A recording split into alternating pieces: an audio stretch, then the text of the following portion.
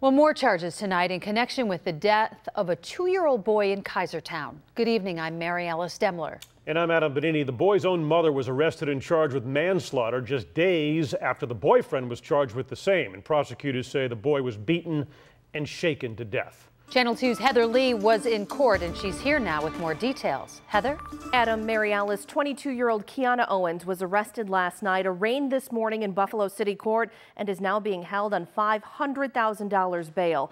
According to police and prosecutors, two-and-a-half-year-old Xavion Hazard died of blunt force trauma on Tuesday. Owens shared this photo with the Buffalo News before she was arrested. Owens' boyfriend, Bashar Hall, is charged with manslaughter. He was charged earlier this week. He's also also being held on half a million dollars bail. District Attorney John Flynn wouldn't comment specifically on the mother's alleged role, what she may have said to detectives, or say what led up to the charge against her days after the boy's death. But he did say this.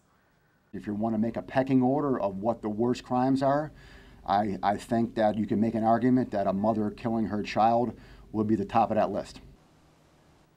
Owens and Hall have two children together, a one-year-old and a two-and-a-half-month-old. The DA said they are safe, but wouldn't say who has custody of those younger kids right now. Both Owens and Hall are due back in court next week for felony hearings. The DA said there is a chance that charges could be upgraded to murder, but they're going to decide on that after looking at more medical records and the final autopsy report. Heather Lee, Channel 2 News.